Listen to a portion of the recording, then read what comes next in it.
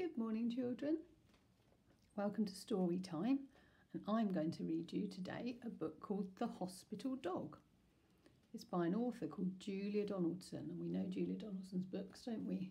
We've read lots of those before Stick Man and The Gruffalo, and Room on the Broom, and A Squash and a Squeeze. She's written so many lovely books.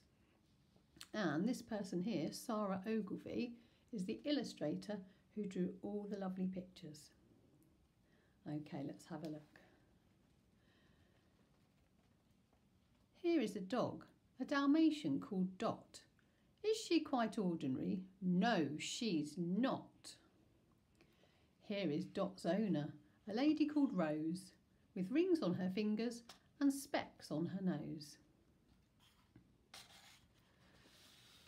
After their breakfast of porridge and tea, Rose and her dog always swim in the sea. Then they hop onto bus number 78 and the bus drops them off at the hospital gate. Here are the children in Wallaby Ward, most of them happy, but some of them bored.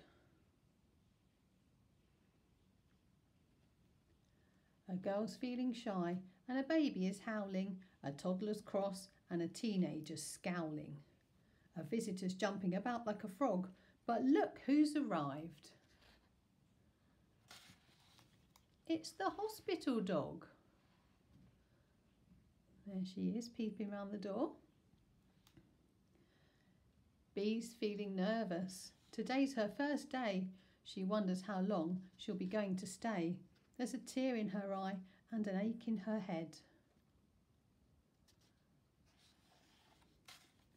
But look who's appeared on the chair by her bed.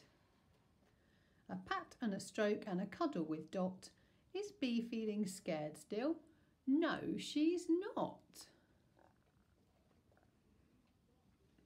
Gus, who is older than all of the others, would rather be out playing ball with his brothers.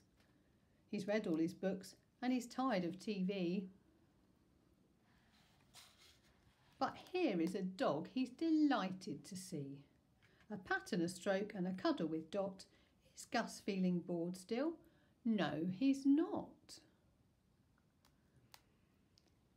Here's baby Katie. She's hot and what's more, she's covered in spots and her tummy is sore. It seems that she'll never stop crying, boo-hoo till Dot lifts a paw to say, How do you do? A pat and a stroke and a cuddle with Dot. Is Katie still crying? No, she's not.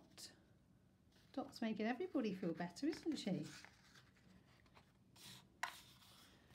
Dot gets a hat and makes friends with a bear. She plays with a ball and she rides in a chair. She calms down a doctor. She cheers up a mummy. She lets little Tyler play Tickle Dot's tummy. She looks like she's enjoying that, doesn't she?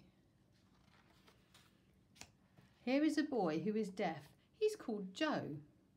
Rose helps her dog make the sign for hello.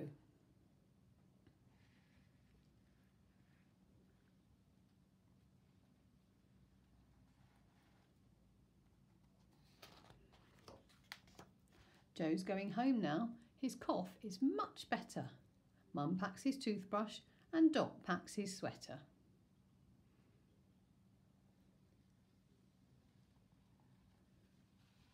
Dot's going home too. The ward round is done. She's sorry to leave, but the lift ride is fun. Look, can you see she's pressing the button with her paw?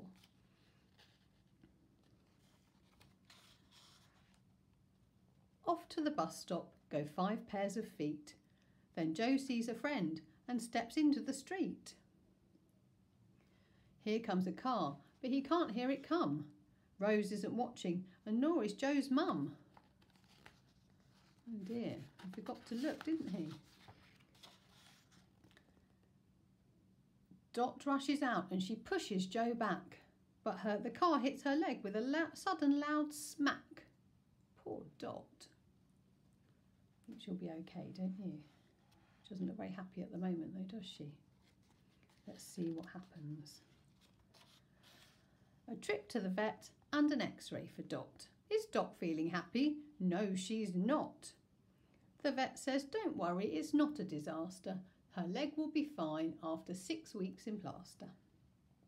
Six weeks to wait, that's a very long time. Dot has a limp and she can't jump or climb. No swimming, no bus rides. Dot's feeling bored. But here come the children from Wallaby Ward. Joe, Bee and Katie, Tyler and Gus, we're visiting you like you visited us. A pat and a stroke and a biscuit for Dot. Is she enjoying it? Yes, a lot. That's cheered her up, hasn't it? She looked after the children when they weren't very well, and then when she wasn't very well, they've come to see her. That's the last page. I hope you enjoyed that.